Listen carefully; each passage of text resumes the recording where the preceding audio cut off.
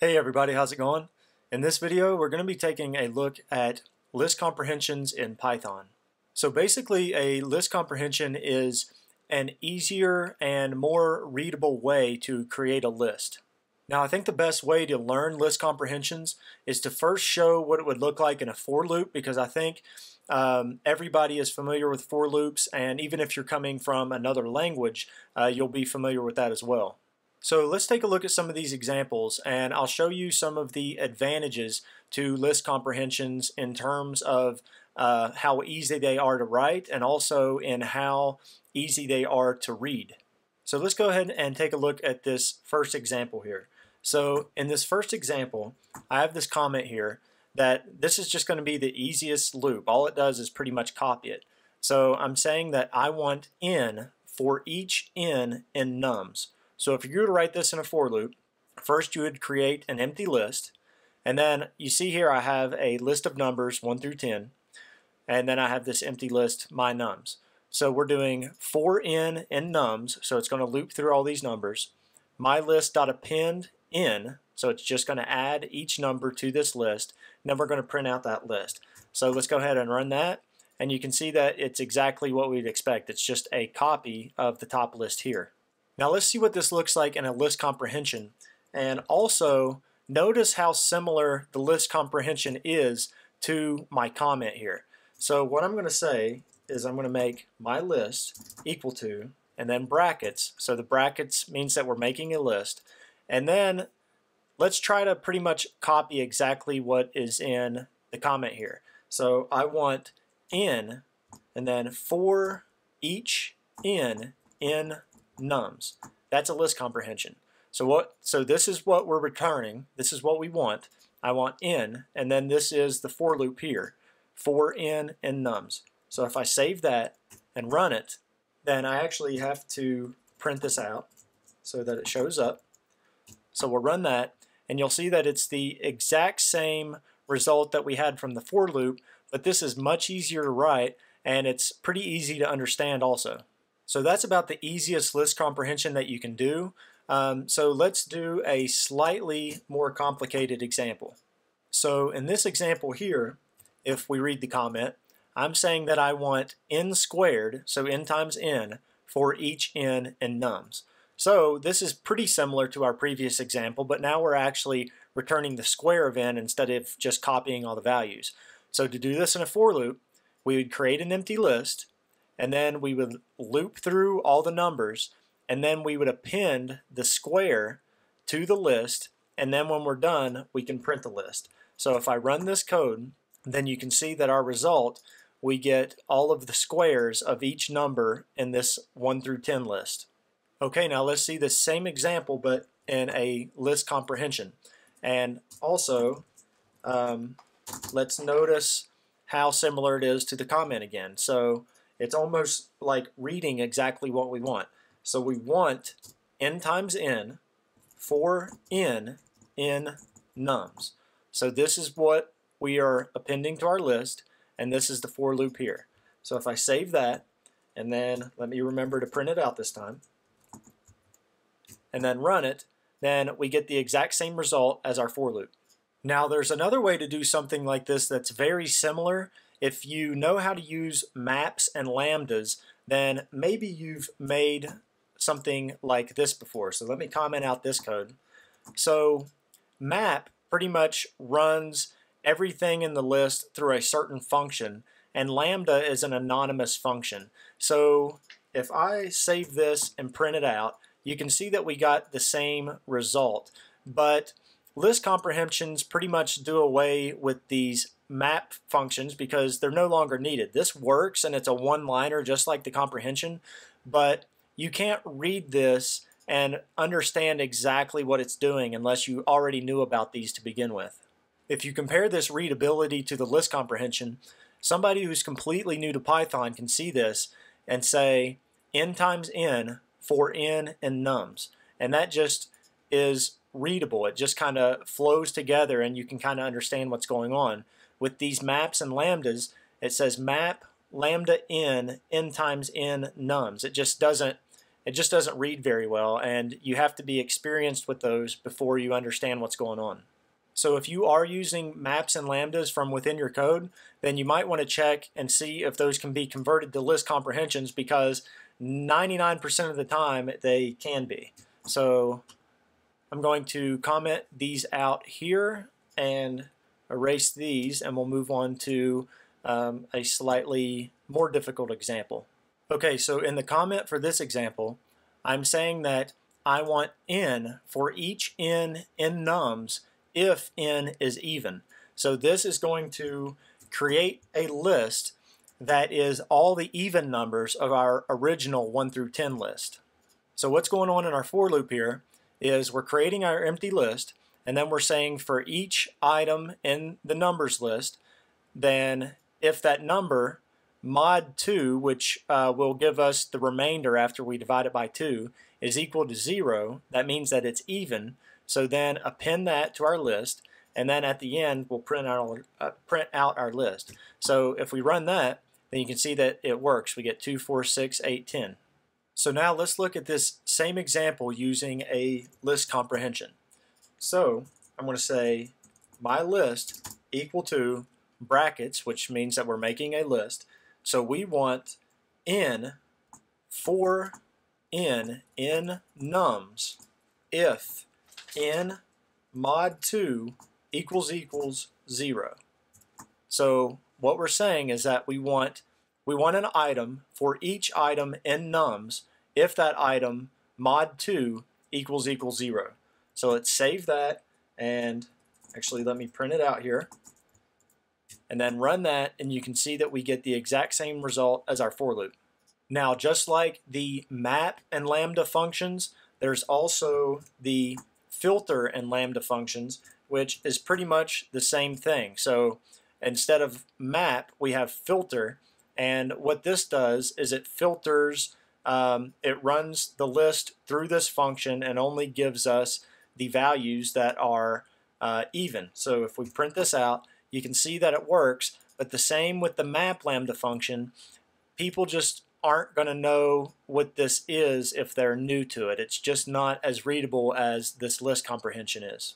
So let's go ahead and delete all of this stuff and move on to a slightly more difficult example.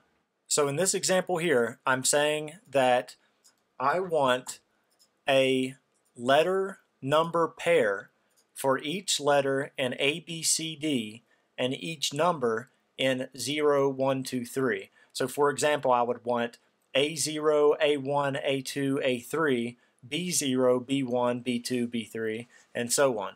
So if we were to do this with a for loop, then we would create our empty list, then we would do a for loop for letter in ABC, and then within that for loop, we're going to have another nested for loop and say for num in range 4, which will give us 0, 1, 2, 3. And then we're going to do a mylist.append, a tuple of the pair, letter, and number. So if I save that and I run it, then you can see that we got all of our pairs. We got A0, A1, A2, A3, B0, B1, B2, B3, and so on.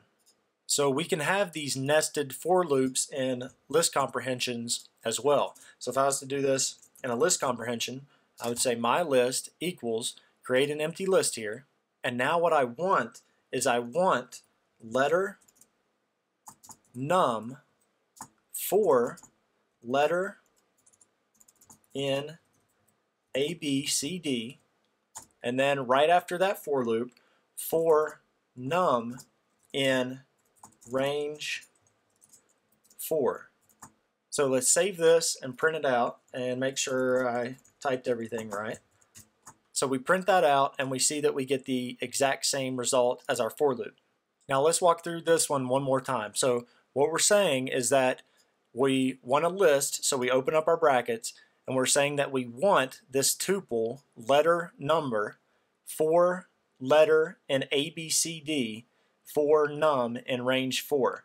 So one thing I probably should have mentioned earlier is that these values that we're saying that we want, they have to match these values that we assign here. So I couldn't just call this number here. I couldn't say that I want letter num for letter in ABCD for number in range 4 because it's not going to know what this value is, this num value.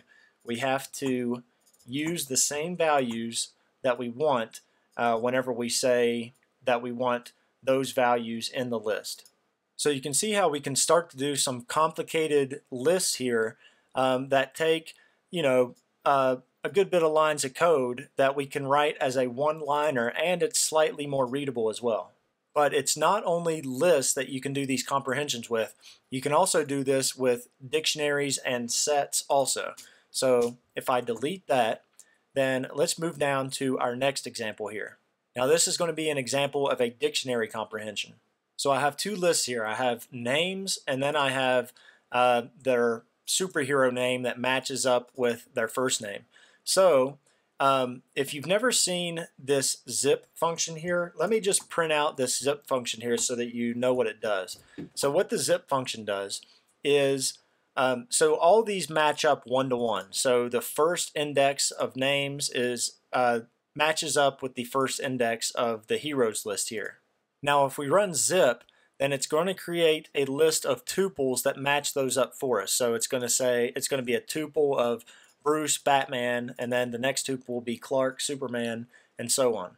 So I'm going to make a dictionary comprehension using this uh, zip function. So let me take that out. And now you can see that in my comment here, I'm saying that I want a dictionary of the name as the key, hero as the value for each name hero in zip names and heroes and this is going to be a list of tuples. So here in the for loop I am making an empty dictionary and then I'm looping through these tuples and saying that for the name of that tuple I want to be my key in the dictionary and for the hero of that tuple I want to be the value in the dictionary and then I'll print out the dictionary here. So if I save that and run it then you can see that we get our dictionary using our for loop. So now let's say that we want to do this as a list or as a dictionary comprehension. So I'm going to do my dict equal to, now instead of the brackets, this isn't a list anymore, it's a dictionary. So we're going to use these braces instead.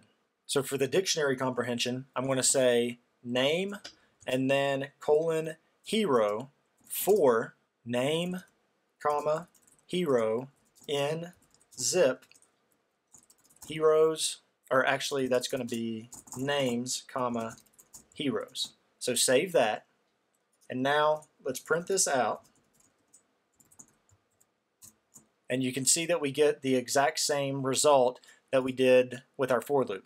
And it's easy to add restrictions onto the ends of these comprehensions. So like in this comment here, uh, I want to do the same thing, but I don't want Peter added to this list. So here at the end, I can just say if name is not equal to Peter, and then run that, and you can see that we get our list uh, without Peter and Spider-Man included in the list. So comprehensions really make it easy to add those loops and those conditionals onto uh, the existing comprehension. So now let's go ahead and delete the dictionary comprehension example and we'll move on to the set comprehensions. So if you don't know what a set is, a set is uh, pretty much like a list except it has all unique values. So uh, you see here that we have this jumbled mess of a bunch of values between one and or between zero and ten, and um, so whenever we make a set and loop through and add those values to the set, the final set is going to have all unique values. So if I have this list of nums, uh, to do this in a for loop, I'm going to say my set equal to an empty set, and then for each item in nums, my set.add that item, and now I'm going to print out my set. So let's save that and run it, and you can see that I get all the unique values um, from that nums list. So now if I wanted to turn this into a set comprehension, then I can comment out the for loop there, and I'm just going to say my set equal to, And this is going to be braces again, just like the dictionary comprehension, but we're not going to have a colon like the dictionary comprehension had. So now we can do this just like the other list comprehension. So we want n for n in nums.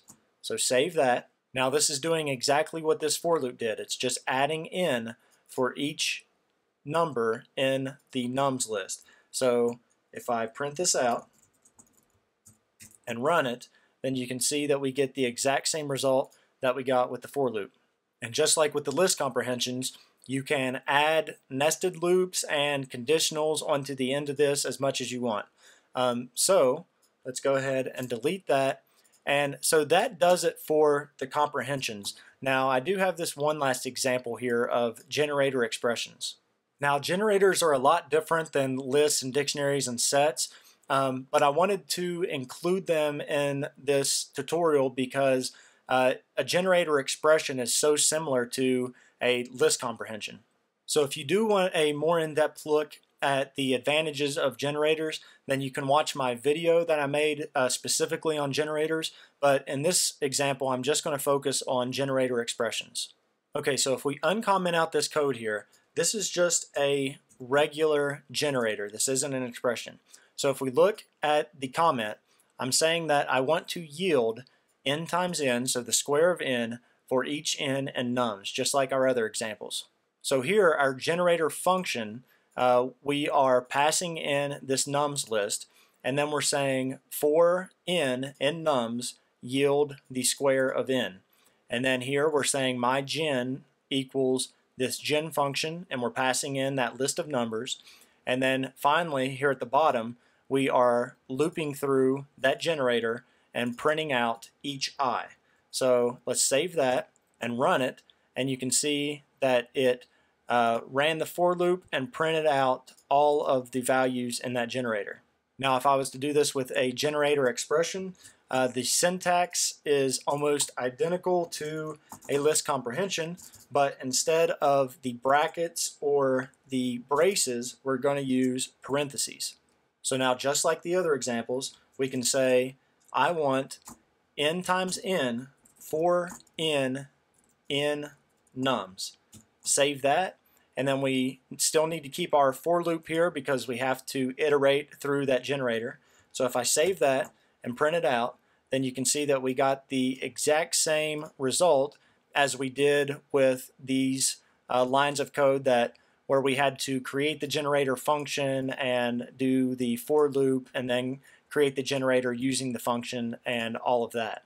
So you can see how this one line of code is not only a lot easier to write and maintain, but it's also a lot more readable as well. So that about does it for this video on list comprehensions. Um, you, you'll be surprised at how often you'll use these and how much code that you can go through your code base and replace these long nested for loops with these list comprehensions. So if you guys do have any questions, just ask in the comment section below. Be sure to subscribe for future Python videos, and thank you guys for watching.